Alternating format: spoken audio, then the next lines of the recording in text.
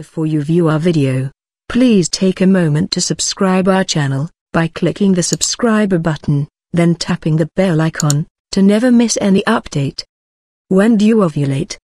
The signs of ovulation vary from woman to woman. It is possible that some women will not even experience ovulation symptoms. During ovulation, the egg travels down the fallopian tube, where it may meet up with a sperm and become fertilized.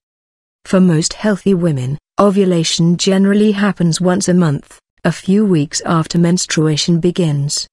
When a woman ovulates, hormonal changes take places that cause a number of physical symptoms.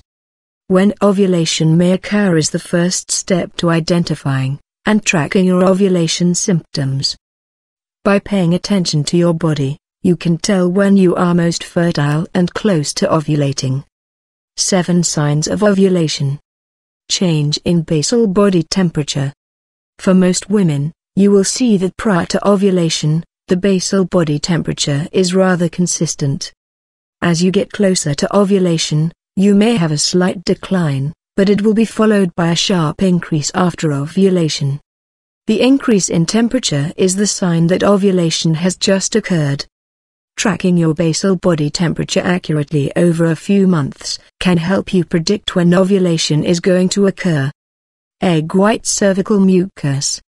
Prior to ovulation cervical fluid is sticky, tacky or thick.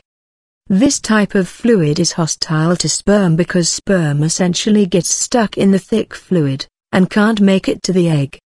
Egg white cervical mucus It provides the best environment for sperm.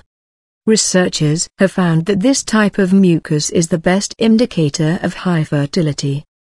Feeling wetter.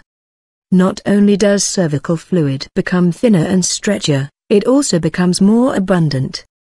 A woman may not be able to tell if her cervical mucus has changed to the right type of mucus, but she should be able to observe how her body feels.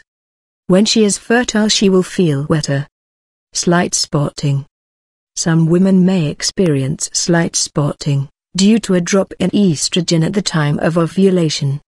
The drop in estrogen causes the endometrium, uterus lining, to decrease a little, causing slight spotting, known as ovulation bleeding.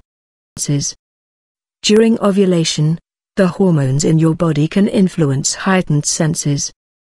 These can include senses of smell, taste, or vision. In the fertile phase of ovulation, your body is primed to be more attracted to the male pheromone androstenedione. Cramping or pain on one side.